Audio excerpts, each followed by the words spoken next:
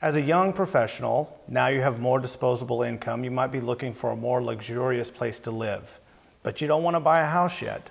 So we're going to help you with a few questions that you can ask so you can find the best luxury living available. My name is Sam M. Coryell. I'm the president of TLC Properties. Well, as a real estate professional, the top three things that you want to look for are location, location, location. So if I were a young person looking for a luxury apartment, uh, first thing I would want to know is location. You want it near the places where you work, play, shop, and do life. Jessi, what other kind of things would a young person look for in a luxury living besides or including location?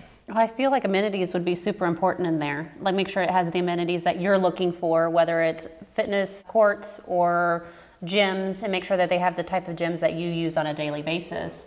The outdoor space, dog parks, smart apartments would be really important to me to make sure I could control my apartment when I wasn't home. In today's society, with everything being electronic, it's important that everybody wants immediate gratification. So if the expectation is to have a work order finished immediately or under 24 hours, you have to make sure you have that same expectation from the property management company. I would really want to know about their technology. What kind of internet? What are the speeds? Do they have to share it with their neighbors or is there some internet dedicated to their apartment? And all the smart technology that's out there.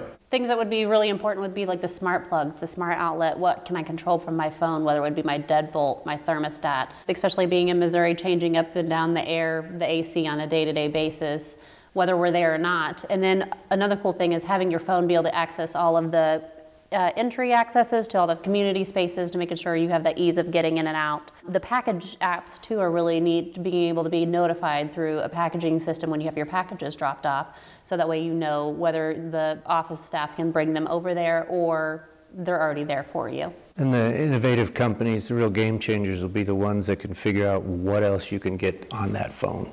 So, can I make a work order in the maintenance while I'm at the movie theater? Or do I have to wait till I get home and call during nine to five?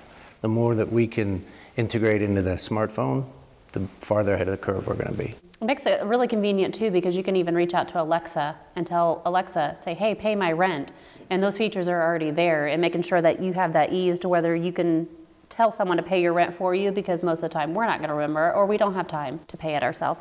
So to sum up, if you're shopping for your luxury apartment, I would say the first thing you want to expect is a location that meets your needs and your lifestyle. Is the technology up to the standards that you would expect and deserve? Do the amenities fit your lifestyle? And finally, is the staff respectful of your time and making sure that your home is never an inconvenience to you?